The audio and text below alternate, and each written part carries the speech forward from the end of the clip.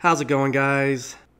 So this morning, Apple released a supplemental update to macOS High Sierra 10.13.6, which addresses a bug that caused the new quad-core and six-core Intel processors in the 2018 MacBook Pro models to improperly thermal throttle and impact overall processor performance. The thermal throttling issue was discovered by YouTubers David Lee and others, and it appears that Apple has been in contact with David to discuss this issue.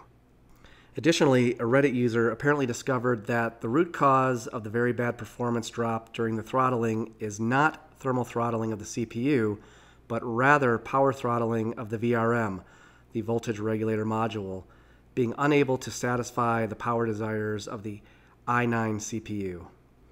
In a statement from Apple, they indicate that following extensive performance testing under numerous workloads, we've identified that there is a missing digital key in the firmware that impacts the thermal management system and could drive clock speeds down under heavy thermal loads on the new MacBook Pro.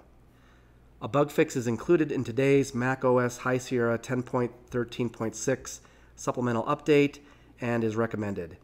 We apologize to any customers who have experienced less than optimal performance on their new systems.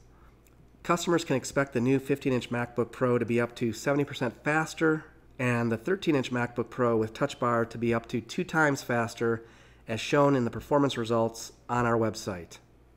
The supplemental update can be downloaded via software update in the Mac App Store, but I've also included a direct link to the download in the video description.